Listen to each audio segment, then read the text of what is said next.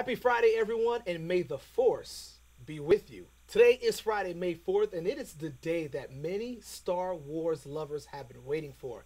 And I'm joined now with York Holman, aka Starkiller. Good morning. Good morning, friendy. How you doing today? I am doing well. All right, so today's a day that many Star Wars fans are going to be celebrating. Indeed, yes. Uh, Star Wars fans across the country and across the world look forward to this day every year to celebrate all things Star Wars. Celebrating because May the 4th be with you rhymes with May the Force be with you, which is a similar saying for Star Wars movies. So, tell us about your character. Okay, well, Starkiller comes from the video game franchise Star Wars Unleashed, uh, the Force Unleashed, rather. And uh, he's Vader's secret apprentice.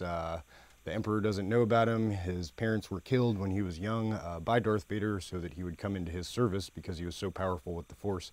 And uh, eventually he figures all this out and then plots revenge against Vader and the Emperor. Wow. So, we shouldn't be surprised if we walk down the street and we see people dressed up like you or other Star Wars characters. I wouldn't be too surprised, but I think probably what you're going to see more of is just a lot of Star Wars t shirts today. There's an upcoming film that belongs kind of to the Star Wars family, Solo. Yes, indeed. Uh, movie about Han Solo in his early life, uh, filmed by Ron Howard, uh, so it should be pretty exciting. A lot of people are really worried it's going to be terrible, but uh, that's the same thing they said about Rogue One before it came out, and uh, now it's one of the most beloved films in the franchise. So, You know, speaking of Star Wars, we're going to see some Star Wars action from you and some of your friends right now. Who am I fighting? well, friendy, if I'm not mistaken, it looks like you've got a Darth Vader helmet on, and uh, I think that's Qui Gon coming at you there, and uh, you got a little Mace Windu action as well.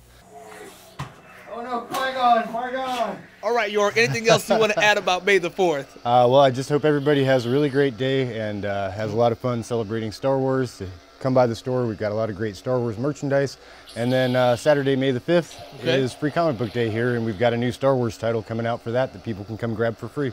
All right, that's cool. All right, everybody. Thank you all so much, fellas. We appreciate it. And everybody, may the 4th be with you.